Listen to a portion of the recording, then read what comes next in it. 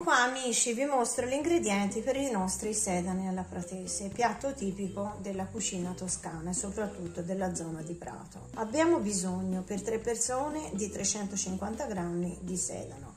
Vi lascio nel link in descrizione come procedere con la pulizia. Una volta puliti metteteli in un cestello con acqua dentro una pentola a pressione e cuocete per 15 minuti. Altrimenti se non avete la pentola a pressione potete bollirli in una pentola con acqua e sale grosso. Al momento del bollore metterli dentro per una ventina 25 minuti circa. Questo è il risultato. Una volta che avete cotto i sedani vi occorrerà almeno 300 grammi di macinato di manzo io al quale ho aggiunto del prezzemolo del parmigiano e un pizzico di sale poi vi occorrerà sicuramente un po' di pan grattato quanto basta e dei bruscoli di pane raffermo se li avete in casa da consumare, io ce li avevo in dispensa. Poi abbiamo bisogno di farina e ovviamente non può mancare l'uovo sbattuto con il latte, quanto basta, almeno un uovo, per impanare i nostri sedani.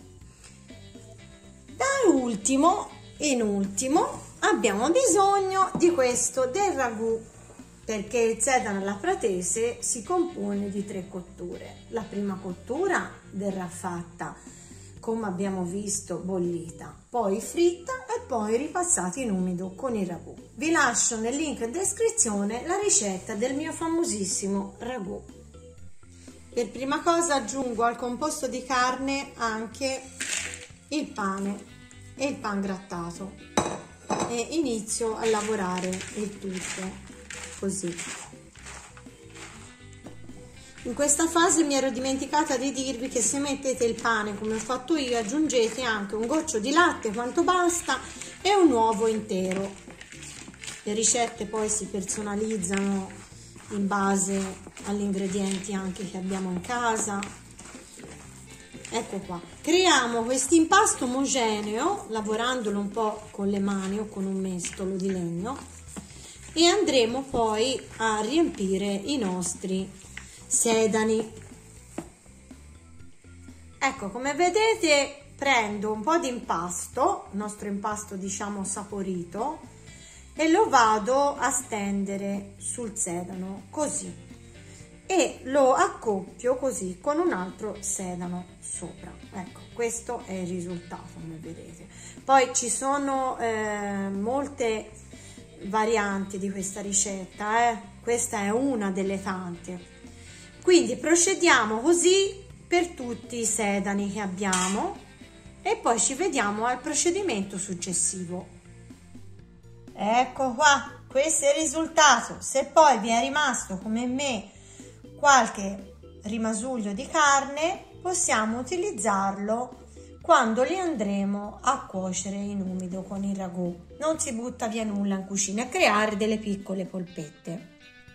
Ci troviamo adesso a impanare i nostri sedani, quindi prendiamo il sedano, abbiamo preparato la farina, quindi andiamo a infarinare così per bene tenendolo unito andiamo a passare nell'uovo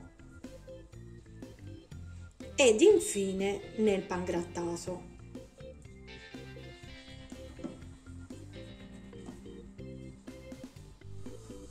Ecco i sedani impanati, pronti per andare alla seconda cottura, la frittura. Vi lascio nel link in descrizione come si frigge correttamente, qual è l'olio ideale per friggere quello di arachidi io prediligo. Andiamo a friggere i nostri sedani.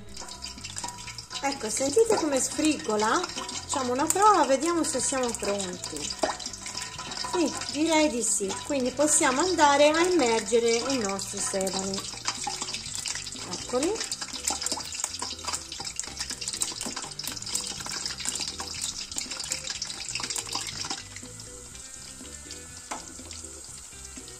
Non li cuociamo del tutto perché l'ultima cottura sarà ovviamente quella in umido nel favoloso ragù quindi una volta che ho tolto i sedani li andrò a asciugare bene con un panno assorbente e poi termineranno gli ultimi 10 minuti di cottura nel ragù.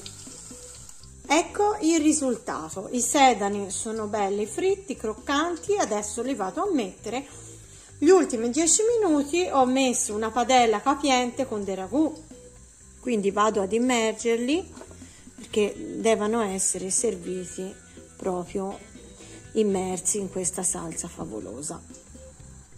Adesso non ci resta che sentire il giudizio di mio marito che è veramente un pratese di OCG Sentiamo cosa dice del mio sedano, perché io sono pistoiese, eh? 18 km da Prato. Sentiamo un po' com'è questo sedano, mi sembra buono, non c'è più. Allora, il profumo c'è. Meno male.